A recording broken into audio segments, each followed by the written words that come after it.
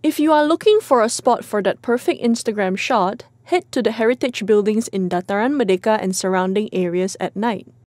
In the coming months, these buildings will have decorative lights in conjunction with the countdown to the 50th anniversary of the Kuala Lumpur City Hall on February 1, 2022.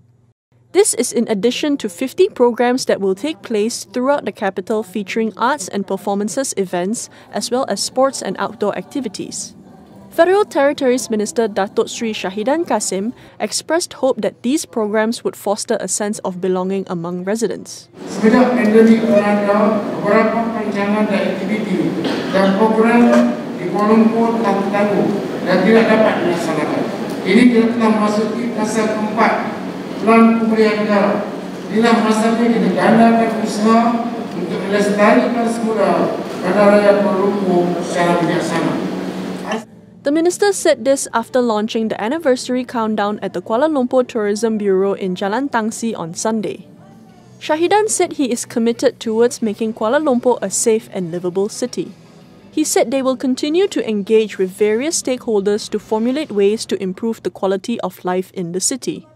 The event on Sunday also announced the winners for the mascot logo and slogan competition that was held in conjunction with the anniversary.